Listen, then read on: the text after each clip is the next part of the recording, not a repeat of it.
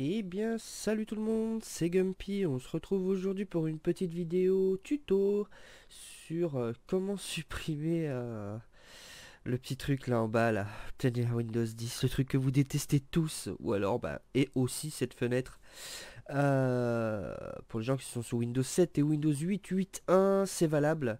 Donc, donc voilà, cette page de merde qui s'affiche.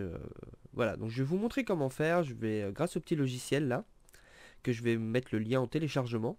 Donc euh, je vais vous montrer simplement comment faire. Vous allez voir, c'est tout tout simple, tuto rapide. Alors bon bah vous l'exécutez, vous le téléchargez, euh, lien dans la description, vous l'exécutez. Voilà, vous l'installez. Vous allez voir, il n'y a pas de merde, hein. ça s'installe euh, très vite. Voilà, vous faites bien attention, voilà, qu'il soit... Vous cliquez sur Finish. Vous acceptez les règles, vous continuez. Alors, euh, vous avez quelques informations au-dessus, hein, pour ceux qui ont envie de traduire, ils traduiront.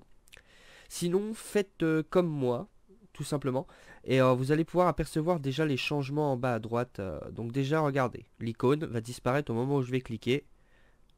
Bon, déjà, directement, l'icône a déjà disparu. Ça, c'est déjà parfait. Alors ça, non, cliquez pas dessus, en fait. C'est juste pour pour si vous voulez régler euh, vos mises à jour. Enfin bref, peu importe. Euh, vous cliquez à droite, voilà. Ici, vous cliquez sur celui juste en dessous, voilà.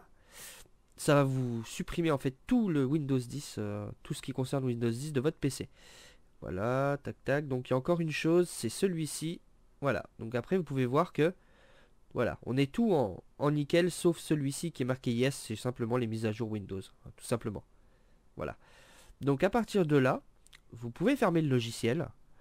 Euh, vous pouvez euh, bah, soit redémarrer votre PC pour être vérifié, faire une vérification, hein, je le recommande. Et aussi ou et où euh, supprimer le, programme que je viens de vous faire installer puisqu'il a fait son travail, on n'a plus besoin de lui, alors il est ici, GWX Control. Vous le désinstallez, ça posera aucun problème, hein, Windows 10 restera absent ne sera plus là pour vous embêter et vous n'aurez plus jamais de notification à ce sujet. Donc voilà, j'espère que cette vidéo vous a plu en tout cas. N'hésitez pas à laisser un petit like, euh, un petit commentaire et à partager la vidéo sur les réseaux sociaux.